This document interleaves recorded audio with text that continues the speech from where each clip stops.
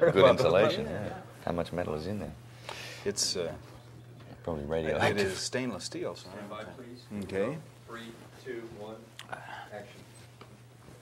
We're with two of the people who put together the third in the series of the Looks into the Future under the title Mad Max. I guess second one wasn't titled that, but it was still about that. Uh, Mel Gibson, who plays that title role, and George Miller, who in this case is one of two directors on the same picture, Beyond Thunderdome. It's not the first time that's been done, but it does introduce problems if they aren't the right two people, does it not? Yeah, I certainly can do. But we'd, uh, George Ogilvie and I had worked together before uh, on television series. Uh, and I guess these films need a lot of collaboration, not only between directors, but between everybody, actors and designers and everybody. And uh, two directors just add to the collaboration. So, and there weren't any problems. It was, uh, um, it was a lot easier, actually. Yeah, it made a stronger unit. Yeah. think. Well, that that is very helpful when it happens. Did you know? I guess the first time you signed this gentleman to play that lead role, uh, he hadn't he didn't have a, a big name, so he obviously would like to do a major feature motion picture. Was there some question about whether you'd be able to get him for this third in the series? Well, there's, there's a question because Mel is uh, is an actor who is a true actor. He's not that interested in just building a career, and so the only thing that will get him is the role.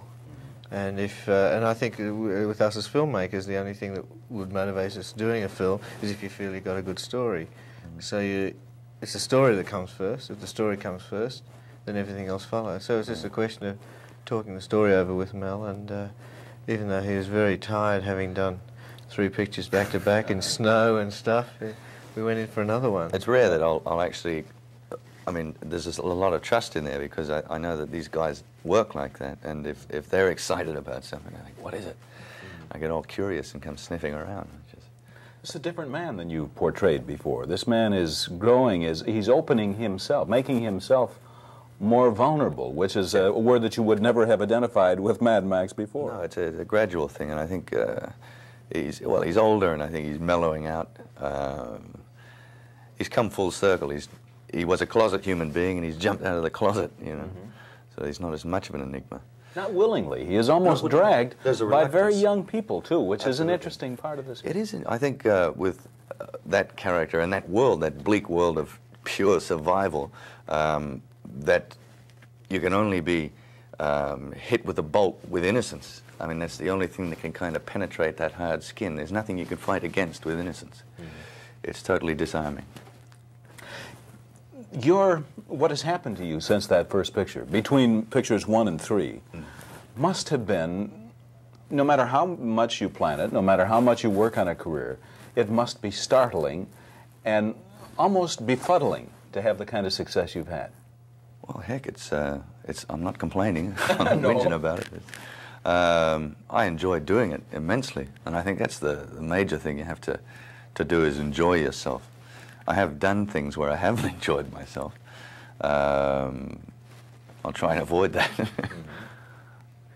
The, the Australian film industry certainly, eh, it's almost paralleled Mel's career. Not, not all of it because of his career, obviously, but it's become uh, very much respected on the world scene, and there's, uh, some wonderful pictures have come out of Australia in the last, what, 10 years or so, right? What, what's the result? Is, is, that, is that the result of uh, a few people who have been the spark plugs, or what has caused it? I, I think it kind of starts off with, uh, uh, with, with a few people. I think it was precipitated by a time when Australia felt like it was growing up. It was just after the Vietnamese War. It's a young country, no identity. Few people who really into film.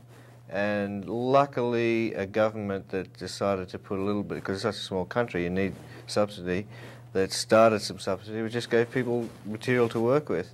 And I think, w- if anything, that, that made the Australian film industry was basically enthusiasm, sort of a real enthusiasm that, that uh, you have when you, you have a chance to do something. They've only been a nation since the beginning of the century, and I think they wanted to, i- or they did identify themselves through their art forms, and that they like to have a good look at themselves.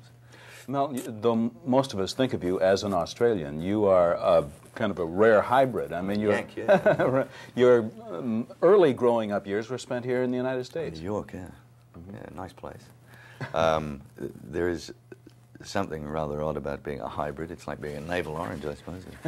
um, it makes you more of an observer, I think, of culture. I suppose people who travel a lot will get the same sort of thing happening. But it's like a, a big dose of it. It's like one big lot of that and another big helping of that. And you compare them, and it just makes you more of an observer. And of course, uh, training as an actor Yeah. doesn't hurt that observation, or shouldn't Observation it? is the basis of it, I think. Yeah. You spend a lot of time on stage too, and purposely. Yeah, I enjoy it. Um, you have to sort of gauge a live audience. You have to sort of know an audience. It, it hones your self-awareness and it uh, makes you better able to do your job.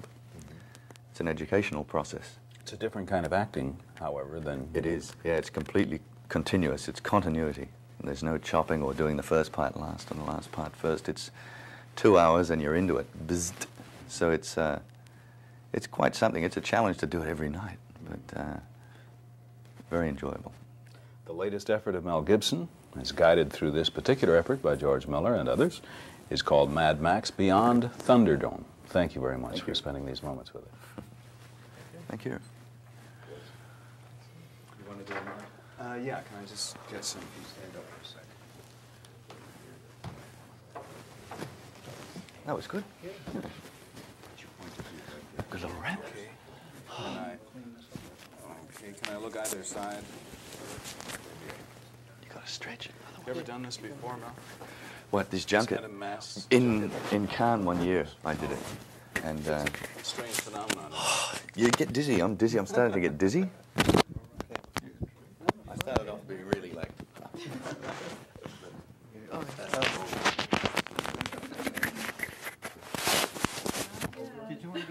you must be getting tired, no? Oh, sorry. I always do this. Walk away. You won't get far. That's true. Forget you're on TV. Ah. First, It doesn't make any difference. Doesn't make any difference. There's no sound here.